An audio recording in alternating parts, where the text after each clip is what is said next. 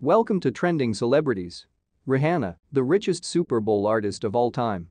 Please before we continue I will appreciate if you subscribe and hit notification bell so that you never miss out on any of our videos about your favorite celebrities.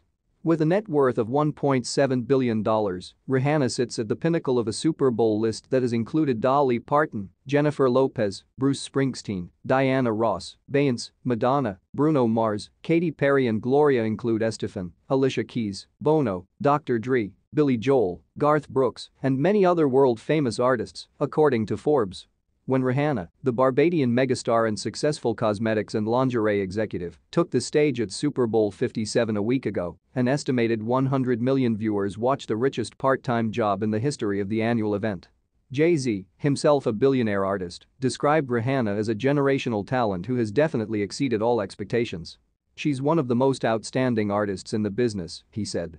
This year's Super Bowl was played on February 12 in Glendale, Arizona. The event, held at State Farm Stadium, marked the first time both teams were led by an African-American quarterback. It's incredible that Rihanna has accomplished so much at such a young age, said Yolanda Frazier Gills, founder of Frazier Gills, a Dallas-based chartered tax firm and past president of the Oak Cliff Chamber of Commerce. She is an example of creating wealth and being in control of your own destiny. We need more role models like her. Super Bowl 57 took place on February 12 at State Farm Stadium in Glendale, Arizona. Apple Music partnered with the National Football League in producing the event, according to league officials. Rihanna has been a cultural force throughout her career, said Seth Dudowsky, an award-winning music executive who is also the NFL's music director. We are very excited to welcome Rihanna to the halftime stage of the Apple Music Super Bowl, said Mr. Dudowsky said.